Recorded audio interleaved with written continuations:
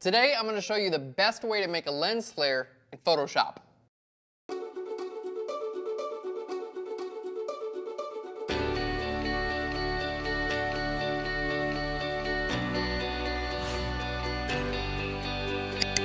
Hey guys and welcome to Phlearn. My name is Aaron Nace and you can find me on phlearn.com where we make learning Photoshop and photography fun. And today's episode is all about lens flares. I'm going to show you guys when it's actually appropriate to put a lens flare in your photo because I see a ton of photos where it's just not appropriate, not happening guys. So we're going to go over that first and then I'm going to show you guys some really cool tricks in Photoshop that you can actually use to get a lot more features and control out of your lens flares. All right, so here's our image for today. It's a perfect candidate for a lens flare because we have the majority of the light coming from behind our subject. Now, if you are going to be adding a lens flare to your image, it's super important that you actually know which direction the light is coming from.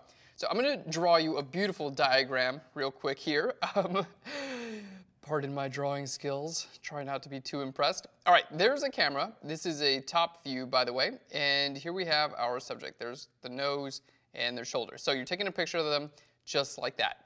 Now, anytime you have a light that's behind or just to the side of your subject, anywhere from about here to about here, we'll get a little arrow there, this is where your lights are going to be shining in this direction, which is called a backlight because it's coming from behind the subject. So every time you're talking about like a front light or a backlight or a side light, that's in terms of your subject, not the camera.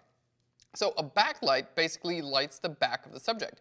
But what happens there is light actually is going to come in straight into the lens and it's going to bounce around in there and it's going to cause a lens flare. So that's what the actual flare comes from. Now, if the main light source is not coming from this direction, if the main light source is coming from this direction, you are not going to get a lens flare. So how do you actually tell? Well, you can look at your subject for the most part. If they have light behind them, then it's a backlit image. If all the light is coming from in front of them, then it's not a backlit image and you cannot add a lens flare to your image because it won't make any sense and it'll look really silly.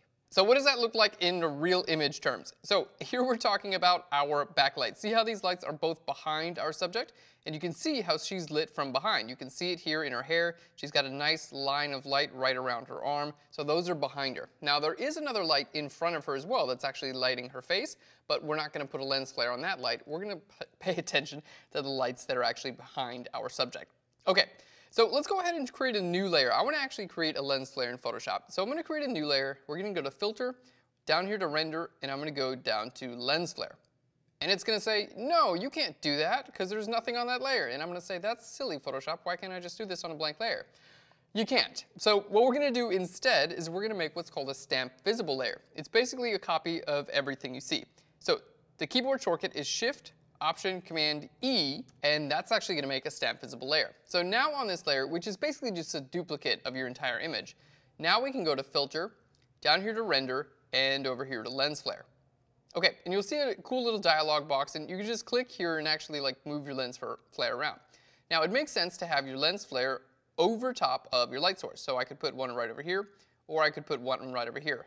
Over here makes absolutely no sense. Please don't do that. Okay, so there we go. You can choose your different lens type if you want just create a couple different looks, all right? And then you can choose your intensity. Keep away from that, it just doesn't look good at all. There we go. Let's try that and hit OK. Okay, that looks pretty good, but it looks a little bit fake, looks like it was done in Photoshop. Let's try to move that around. So I'm to grab my move tool and try moving it around, but what you're to see is that it's actually tied to this layer. It's a part of the layer, which personally I don't like. I don't like the option that I can't change the look of it, maybe change the color, change the opacity. So there's a really cool trick we can use to actually separate the lens flare from the image. Here's what we do. We take the same layer, I'm gonna hit Shift Delete, and we're gonna fill the entire layer now with black. Let's hit OK. So it's just a black layer. Now we're gonna go to Filter, and I'm gonna go down, instead of going down to Render and down to Lens Flare, I'm gonna go to this lens flare.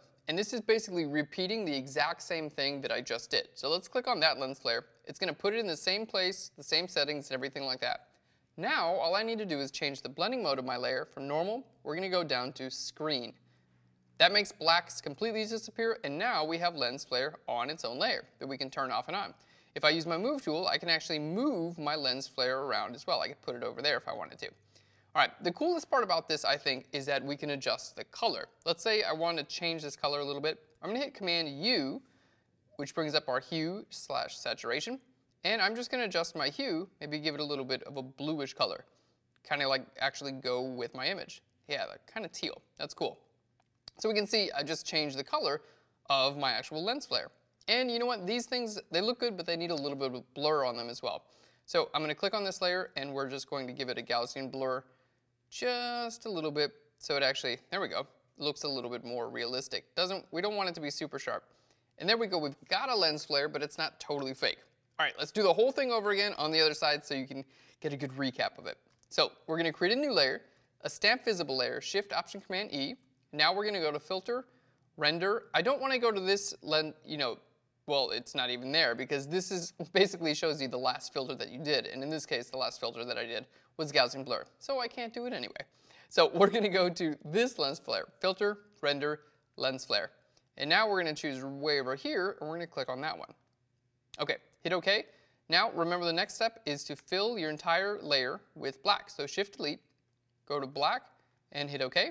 And next go to filter and then down to lens flare. So it's an extra step, but it'll help you get those lens flares on their own layer. Okay, now I could change, let's say I wanted to change the opacity of that, I can do that after the fact, and let's give it a little bit of a blur as well. So now, let's go ahead and take a look at what our image looks like with and without those lens flares. Here's the before, super clean, and here's the after with some lens flares, but they're not completely obnoxious because we were able to alter them after we made them in Photoshop. And that's the end of today's episode, guys. Just remember the two most important things when using a lens flare. First is make sure to pay attention to the direction of the light. If you're working with a backlit image, it's okay to use lens flare. If you're not, it's not time to use lens flare. And second, after you create a lens flare, fill that layer with black, redo the lens flare, and then change your blending mode to screen. And that's gonna allow you to get the lens flare on its own layer, which gives you a ton of options when you're actually editing. I didn't know what I was gonna say there. Just, sometimes you just keep talking and it just it just comes out. Anyway, thanks for watching today's episode, guys. I hope you enjoyed learning from Phlearn, and if you want to continue learning from Phlearn, all you have to do is subscribe to our YouTube channel. It's free, and we send out photography and Photoshop tutorials every single week. And if you have an idea for a new episode or something, a question about today's episode, leave it in a comment down below. We'd love to hear from you. Thanks so much, guys. I'll Phlearn you later. Bye, everyone. All right, so the keyboard shortcut is Shift, is Shift Option Command E, and that's gonna make a stamp. So the keyboard. All right, so now we need to make it stamp visible layer. The keyboard shortcut is Shift Option Command E. All right, is it's actually you know it's on there, but I'm gonna I'm gonna record some bloopers. Molto bello, tre bien. And that's what I call a lens flare done right in Photoshop.